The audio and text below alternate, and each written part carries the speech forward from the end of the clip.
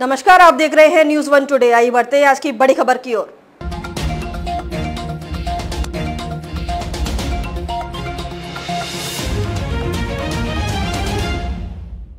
कहाँ अटक रहा मामला? तेजस विमान देने में अमेरिका कर रहा देरी। भारत ने कर ली है जुर्माना लगाने की तैयारी। भारतीय वायुसेना को एक और झटका लगा है। तेजस मार्क ए के लड़ाकू विमानों की डिलीवरी में देरी हो गई है। अमेरिकी कंपनी जनरल इलेक्ट्रिक से इंजन की सप्लाई में देरी के कारण ऐसा हुआ है। चार दशमलव पाँच जनरेशन फाइटर बनाने का प्रोजेक्ट भी अटका हुआ है। एच ए एल से 25 में आईएएफ को केवल दो से तीन तेजस मार्क ए के फाइटर ही दे पाया है। तिरासी जेट विमानों के लिए फरवरी 2021 में छियालीस करोड़ रुपए का सौदा हुआ था। प्रधानमंत्री मोदी और रक्षा मंत्री राजनाथ सिंह ने अमेरिका दौरे के दौरान जीई एफ़ 404 इंजन की डिलीवरी में देरी का मुद्दा उठाया था। जीई ने अब मार्च 2025 तक सप्लाई शुरू करने का वादा किया है, जो दो साल की देरी है।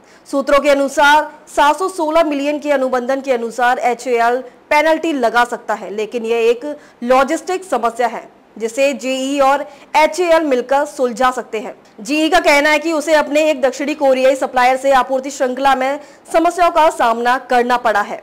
एच और जीई अब भारत में तेजस मार्क दो फाइटर के लिए अधिक शक्तिशाली। जीई एफ़ 414 इंजन के सह उत्पादन के लिए अंतिम तकनीकी वाणिज्य बातचीत कर रहे हैं। इसके तहत लगभग एक मिलियन में 80 प्रतिशत तकनीक ट्रांसफ़र की जाएगी। सूत्रों ने बताया कि इस वित्तीय वर्ष के भीतर अनुबंधन पर हस्ताक्षर हो जाने चाहिए। देरी के कारण फंसेगा पेच इंजन में देरी के अलावा तेजस मार्ग एक ए पर हथियारों और इजरायली रडार का एकीकरण भी चल रहा है। आईएएफ को अगले 15 वर्षों में 180 तेजस मार्ग एक ए और कम से कम 108 मार्ग दो जेट मिलने की उम्मीद है। लेकिन देरी से उसकी योजना प्रभावित होगी। वायुसेना के पास अभी सिर्फ़ 30 फाइटर स्क्वाड्रन हैं, जबकि उसे बयालीस दशमलव पाँच स्क्वाड्रन की अनुमति है। 114 मल्टी रोल फाइटर एयरक्राफ्ट की ज़रूरत। आईएएफ को 114 नए 4.5 पीडी के मल्टी रोल फाइटर एयरक्राफ्ट की भी सख्त ज़रूरत है। इन्हें भारत में विदेशी सहयोग से बनाया जाता है। इसकी शुरुआती लागत 1.25 लाख करोड़ रुपए आकी गई है। लेकिन यह प्रोजेक्ट भी अभी तक पूरा नहीं हो पाया है।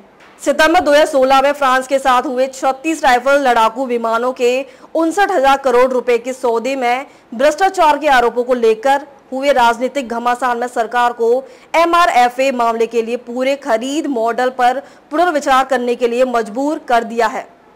अब तक के लिए बस इतना ही। फिर होगी आपसे मुलाकात। तब तक के लिए नमस्कार और देखते रहिए न्यूज़ वन टुडे।